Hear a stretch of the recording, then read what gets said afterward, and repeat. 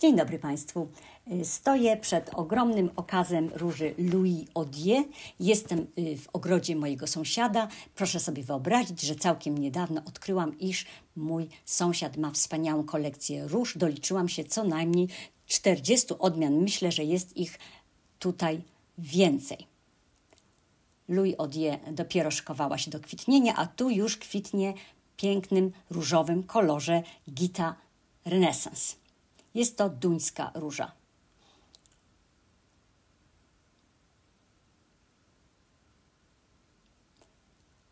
Ta żółta piękność to Golden Celebration firmy David Austin. Ma duże, y, bardzo ładnie wypełnione kwiaty, jest niezwykle ozdobna, y, na pewno y, warta zasadzenia w każdym ogrodzie.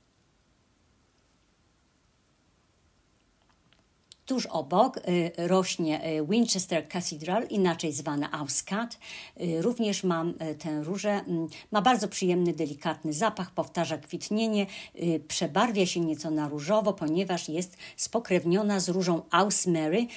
Róża Ausmary jest różowa i ma intensywny, miodowy zapach. Bardzo serdecznie polecam Państwu mm, te obie odmiany. Powtarzają kwitnienie.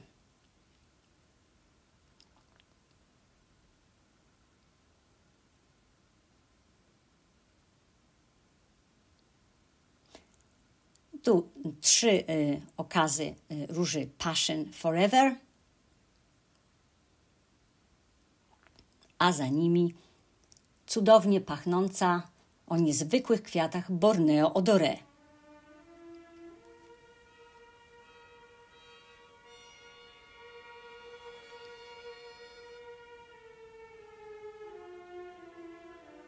Róża Bordeaux bardzo nasyconej czerwieni. Proszę zwrócić uwagę na y, zdrowie liści. Za nią duży okaz róży Elmshorn. Będę ją jeszcze Państwu pokazywać troszkę później w tym filmie. Za Elmshornem rośnie Louis Odier. Ta róża to Emilia Maria.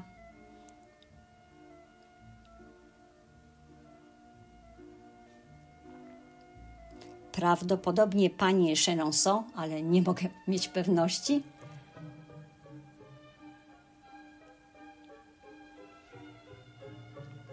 Ciemnej czerwieni y, róża Auscream firmy David Austin. Niezwykły kolor doprawdy.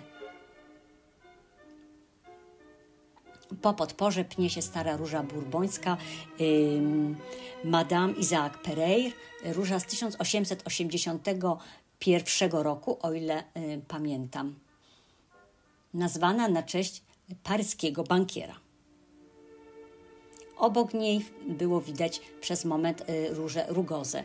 Mm, ta łososiowa mm, róża, wydaje mi się, że jest to y, Bonita Renaissance mm, firmy Paulsen.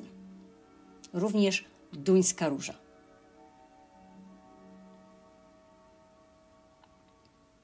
To to um, najprawdopodobniej postylion, jeszcze nie rozkwit w pełni.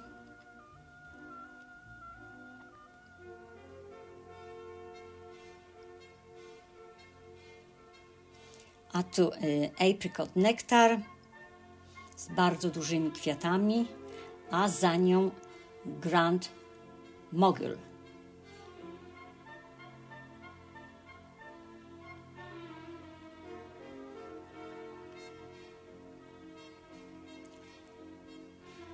To królowa Warszawy Łukasza Rojewskiego, a obok niej Friedenslicht e, o niezwykłych, świetlistych kwiatach i bardzo ciekawym pokroju, takim lekko zwisającym. A ta to, jak mi się wydaje, akwarel.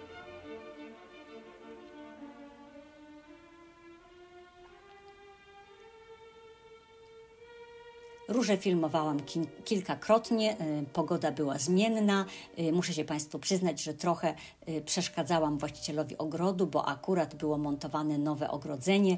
Ja próbowałam znaleźć dogodną chwilę, tak by móc sfilmować róże, kiedy pokazywały swój potencjał najlepiej. Nagrałam bardzo dużo materiału. Większość zdecydowałam się usunąć, ponieważ nie chciałam, by film był zbyt długi. Proszę popatrzeć, tutaj Elmshorn podejrzewam, że tydzień lub dwa tygodnie po pierwszym nagraniu.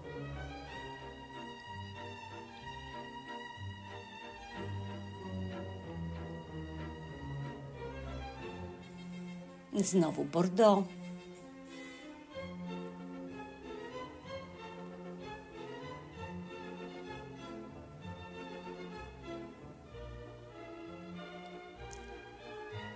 Piękna. Jeśli ktoś lubi czerwień, to naprawdę warto o niej pomyśleć.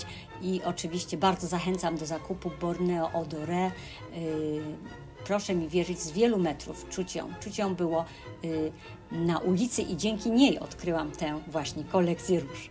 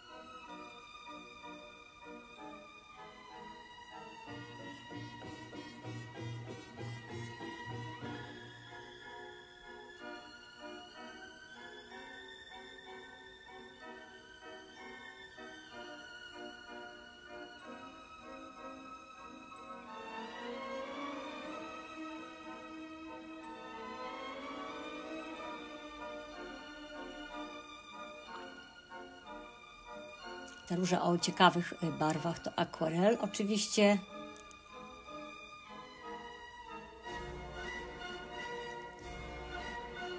tu mam podejrzenie, że jest to absolutely fabulous.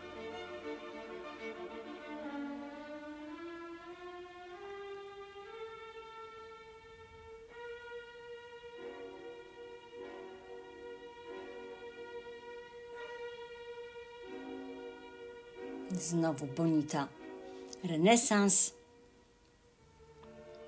Madame Isaac, Isaac Pereire już z większą liczbą kwiatów.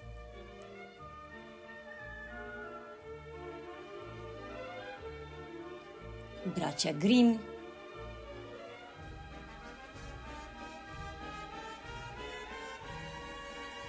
i Wenroza pana y, Żyły z ogromnymi kwiatami.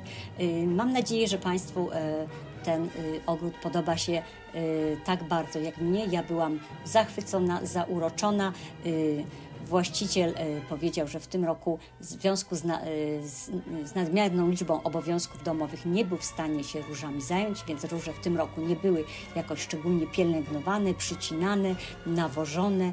Proszę Państwa, jest to lekcja dla nas zatem, że nie musimy zawsze y, i nieustannie i regularnie się różami zajmować. One sobie bez nas przez jakiś czas na pewno poradzą. Dziękuję Państwu bardzo za uwagę. Życzę miłego oglądania. Pozdrawiam serdecznie.